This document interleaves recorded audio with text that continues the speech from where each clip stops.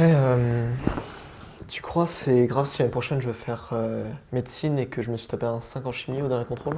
J'avoue, c'est un peu chaud. hein. En plus, pour aller en médecine, il faut connaître plein de trucs en chimie. Mais il n'y a pas quelque chose euh, en particulier que tu aimerais faire? Bah, dans tous les domaines où je veux aller, il y a de la chimie, euh, sciences de la vie, biologie, pharma, tout. J'avoue que c'est compliqué là.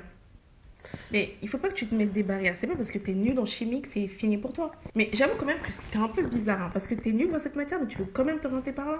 Euh, je suis pas nul. L'année dernière, j'avais des bonnes notes et là, il y a le nouveau prof cette année, ça passe pas. Tu me dis euh, atomes, euh, ions, euh, molécules polyatomiques, c'est quoi ça aussi? Ouais, j'avoue, ta situation est compliquée. Mais tu sais ce qui serait trop cool? C'est un cours qui rassemble toutes les bases en chimie.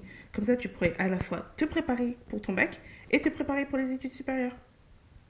Ouais, mais c'est pas la réalité ça.